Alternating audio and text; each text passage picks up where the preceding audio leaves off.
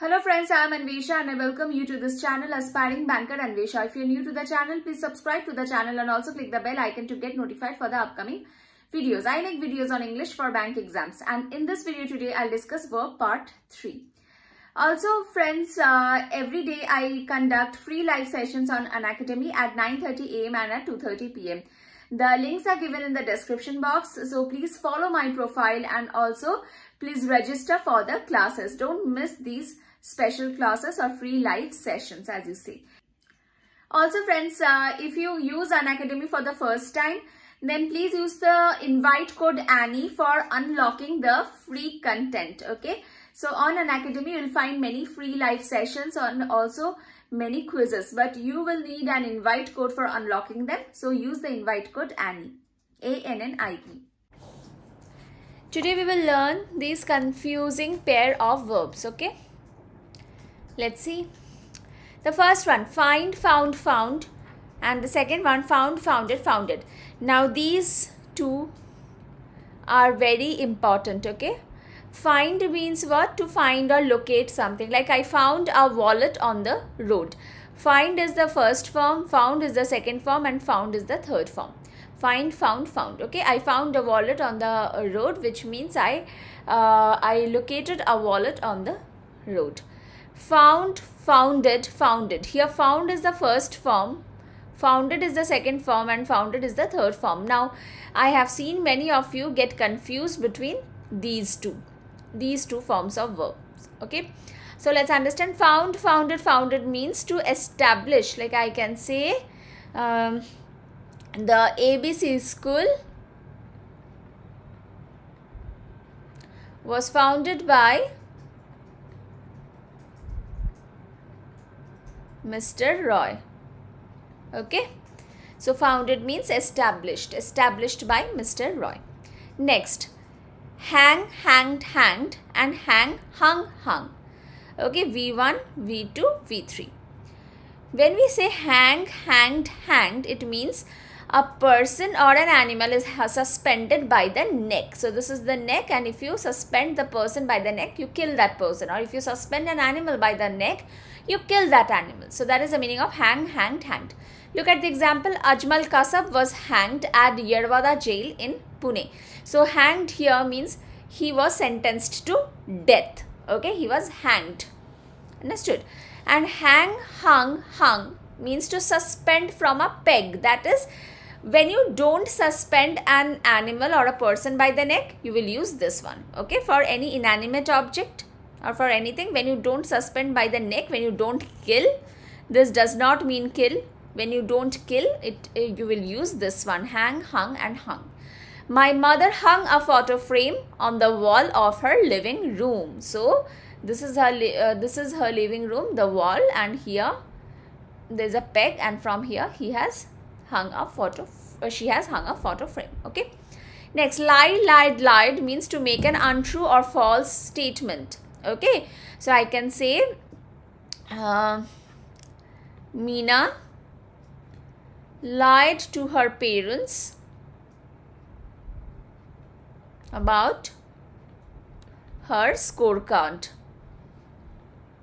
okay? So Meena did not reveal her scorecard to her parents. She lied to her parents okay? So lied means to make an untrue or false statement.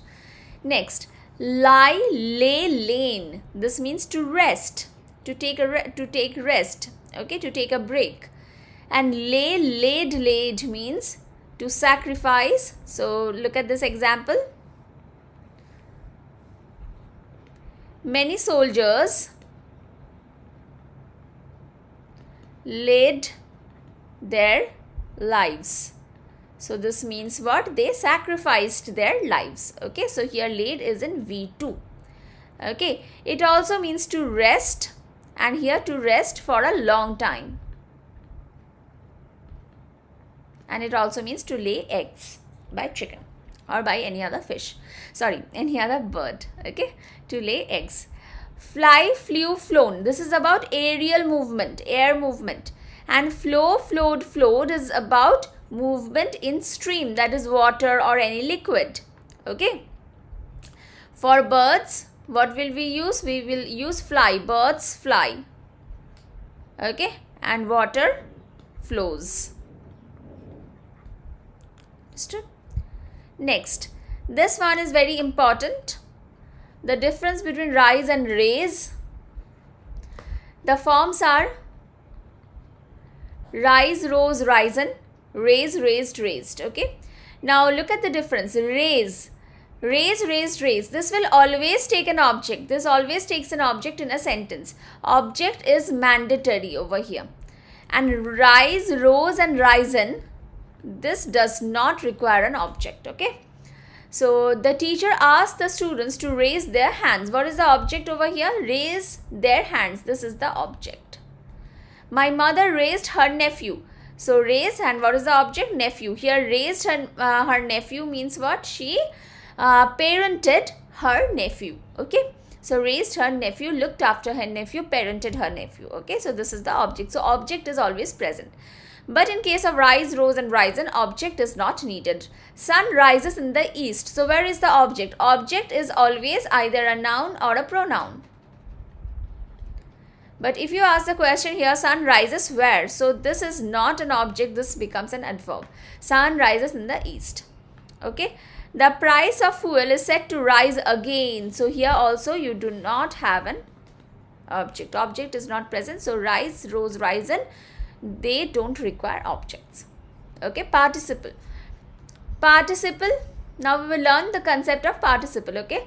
Participle acts partly as a verb and partly as an adjective. So let's understand present participle. Ing form of verbs can act as present participle. You use this when an action is going on or is incomplete. It is also used as an adjective. Let's understand. All existing business models are wrong so here business model, uh, this is a noun, business models, this is noun and this one is an adjective. So here ing form of verb acts as an adjective. So this is a participle, okay, present participle. Crying relentlessly, the baby threw away its toys. Here crying relentlessly. Okay, so this one crying is a present participle because here the action is going on. Okay, next. For past participle, past participle is V3. Okay, so when do we use past participle? The two actions happen one after the uh, one after another. Okay, an action that has been completed before another action takes uh, uh, another action took place, and this, or the second action is the result of the first action. Let's understand. Driven by his poverty, he committed suicide. Now look at this. He committed suicide. This is the result and this is the result of what? Poverty. So here the second action is a result of the first action. That's why the first action, in the first action, participle has been used V3. The boy taken to hospital has recovered. An action that has been completed before another action, before another action took place. Okay. The boy taken to hospital has recovered. So at first the boy was taken to hospital, then the boy recovered. So this action was done at first, then this action happened. So here the one action this is this has been completed and then this happened. So the first action has been completed, then the second action happened. So the first in the first action you'll use participle. The boy taken to the hospital has recovered. Also you can um, think of this in this way that recovered is the result of the first action which is taken to hospital. The boy has recovered because he was taken to hospital, right? So this is the result of this, okay?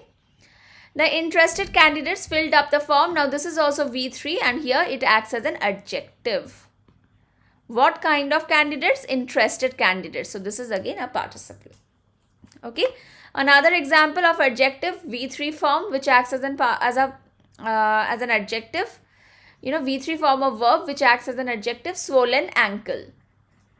Here ankle is a noun and swollen is an adjective. But swollen is actually what? It is V3 form of verb. Okay. Now let's understand what is perfect participle. Having plus V3 is perfect participle. This is important. Okay.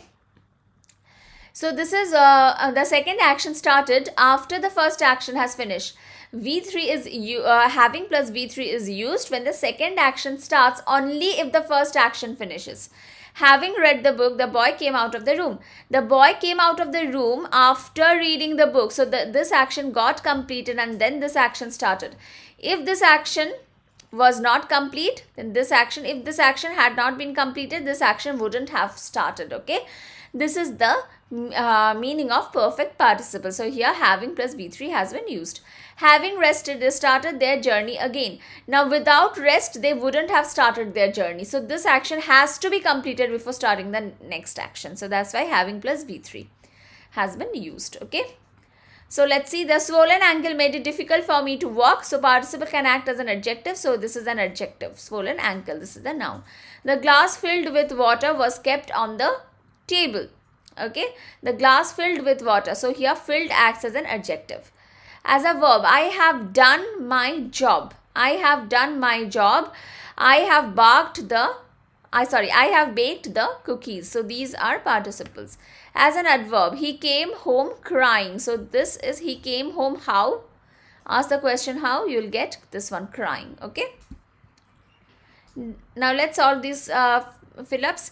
Dash is Dash in the same industry for years. We knew each other well. We knew each other well. So what will you place here? Having worked. Because this action got completed and that's why we knew each other well. Picture Dash by Husain sold for millions of dollars. Picture painted by Husain. It is a dash fact that insects resort to chemical communication. It is a proven fact, adjective. Okay. Next. Now let's uh, see how verbs come in sentence. Okay, in a sentence. So uh, when whenever you have a transitive verb, okay, whenever you have a transitive verb, you can write a sentence in this way, subject plus verb. The boy is sleeping. This is the subject and this is the verb. This is the helping verb. This is the main verb. Okay. The child is playing. This is the subject. Helping verb. Main verb. Birds fly. Subject. Helping. Helping verb is not there. Only main verb. And uh, you cannot uh, change these kinds of sentences into passive voice. This These sentences are always in active voice. Okay. Because here object is not present you cannot change them to passive voice because object is not present because here you are using intransitive verb. Okay, what is intransitive verb? Please um, go to verb part 2 and watch verb part 2 if you haven't already. Next is subject plus verb plus noun or pronoun or adjective. Okay, noun or pronoun plus or adjective. Let's see. This is a pen. This is the subject. Is is the verb and this is the noun. Okay.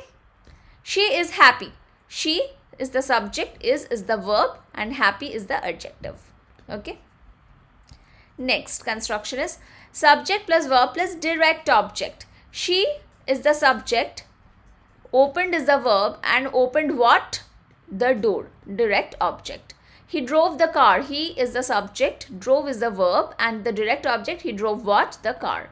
This is the direct object. Next, Subject plus verb plus indirect object plus direct object. Here both indirect and direct objects are present. I is the subject. I gave her my book. I gave is the is the verb. Okay.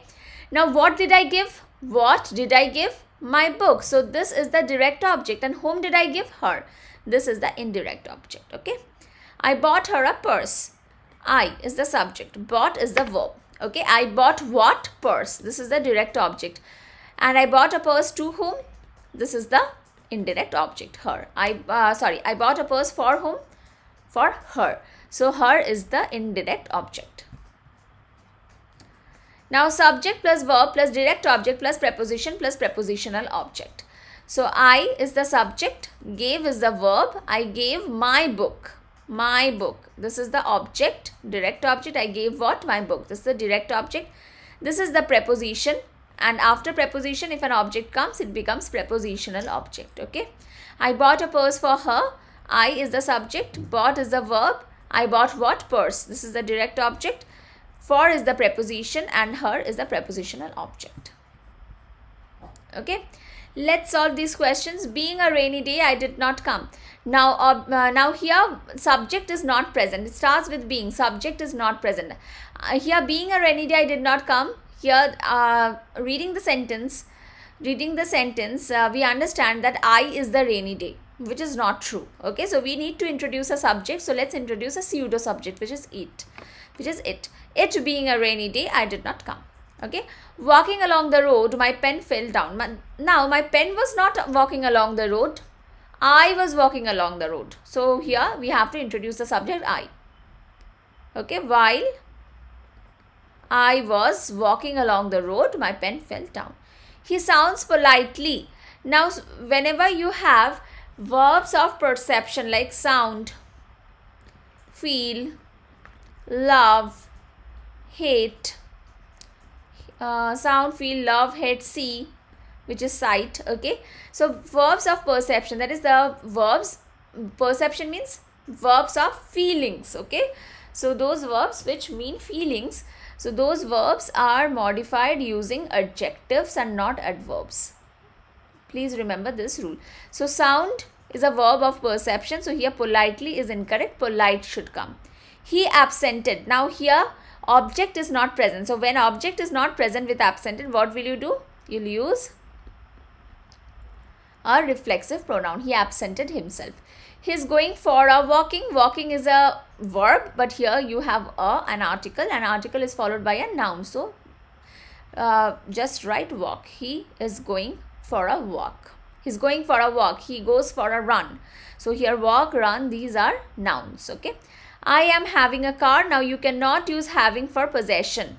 Please remember this. Having cannot be used for possession. Never okay so i am having a car is wrong instead of this you uh, you need to write i have a car. Okay? I regard him my brother. Okay now this one will not do today. It is actually i regard him as my brother because regard is always followed by as. Now this one we will understand in adverb chapter. Okay? Okay so i'll keep it till here. So verb is complete. Okay i have told you all the important things which I should uh, which I should convey in my lecture. So if you haven't watched verb 1 and verb uh, 2 then please watch them so that you can complete this part okay. So tomorrow we'll start with subject verb agreement. Thank you so much for watching the session. Bye.